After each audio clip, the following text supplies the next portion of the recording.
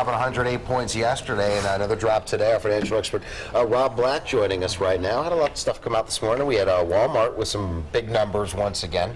Yeah, they beat expectations by a lot. They did lower guidance going forward, which is basically saying January was okay, but February starting to see a deceleration in retailing um, as the payroll taxes have gone higher. There's just a little bit of fear that the consumer is going to lose a little bit of uh, uh, purchasing power at the lower end, the dollar stores, the Walmarts, the Targets per se. Yeah, and I was just reading how important uh, Walmart is to the U.S. economy with 71% of the U.S. economy consumer spending, and Walmart's 10% of that. It's a crazy number. It's impressive. Yeah. And if you strip out like Apple and Walmart, I mean, they're the two most important retailers as far as you know percentages in the United States. Wow, we had a spike in the weekly jobless claims up 20,000 uh, from the week before. Uh, is that a concern as we watch the weekly numbers here with unemployment?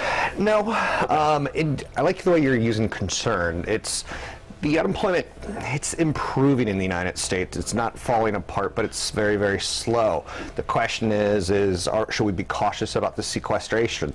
How big of an impact is it going to have? A million jobs slows down the economy. If we take money out of the defense spending, you may take it, people out of jobs. Uh, they leave the military, then suddenly they're unemployed, and they're looking for jobs, and they're competing with the unemployed. So that's the concerns, and the, the headlines are going to be crazy for the next couple of months. You have to have a stomach of steel because because we haven't had a 10% correction or more in over 500 days on Wall Street. Typically, we get two per year.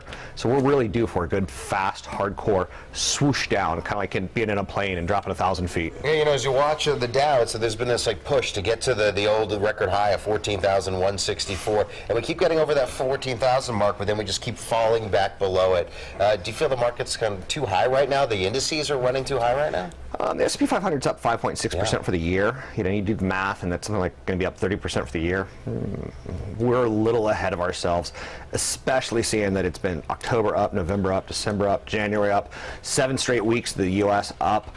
We're due for like you said, we're a little ahead of ourselves. Okay, so as we go for the next few months, we're seeing companies like Walmart, you know, lowering their expectations for the coming months. Do you feel the uh, U.S. economy just kind of limp along for the rest of the year, or are there still some indications maybe we'll do better in the second half? You know, there's a story out today that this is the type of market that I see. Verifone's getting murdered. They're down 30%. They make the hardware that you swipe your cards with at restaurants and, and hotels and situations like that.